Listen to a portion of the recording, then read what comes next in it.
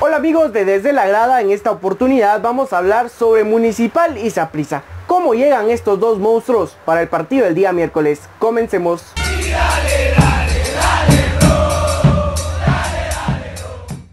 Vamos a empezar por el conjunto morado y es que Saprissa en la Liga Tica ha disputado 11 partidos, de los cuales ha ganado 5, empatado 2 y perdido 4, lo que lo coloca en la tercera posición del grupo B de aquel país. Además de esto, Saprissa lleva 3 partidos sin conocer lo que es una victoria. Esto porque perdió 1-0 frente a Limón, empató 0-0 frente a San Carlos y perdió 3 a 2 el clásico Tico frente a la Liga Deportiva Alajuelense. Este último partido fue apenas ayer. De sus derrotas, la más abultada fue la que recibieron en su propia casa frente a Cartaginés. Cuatro goles a cero les hizo Cartaginés en esa oportunidad. Es decir, llegó a Ricardo Zaprisa, metió cuatro y adiós. Esa es la derrota más abultada que recibió eh, pues el cuadro Tico en este torneo Apertura 2020.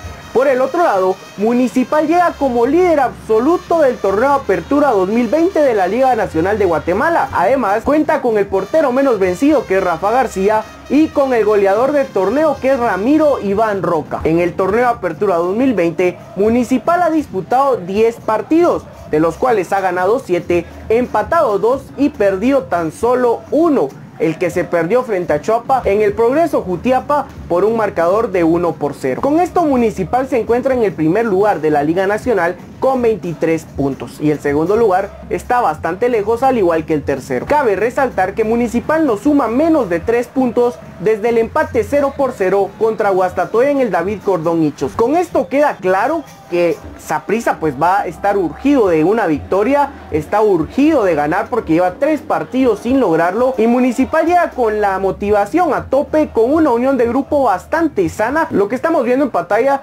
son imágenes del día de hoy de la despedida del equipo que fue organizada por los hinchas de Municipal, donde vemos a un conjunto de jugadores bastante unido y creo que esto va a ser vital para el partido que se lleve a cabo el día miércoles en Tierras Ticas, donde los dos equipos no se pueden relajar ni darle ventaja al rival porque sería catastrófico para obtener un resultado positivo. Al final creo que la unión de grupo va a valer bastante y creo que Municipal ha logrado eso, ha logrado unir a los jugadores y hacer que todos vayan por el mismo objetivo. Obviamente todos como hinchas rojos queremos que nuestro equipo vaya y gane. Y creo y confío plenamente en cualquier jugador que se ponga la camisola de municipal.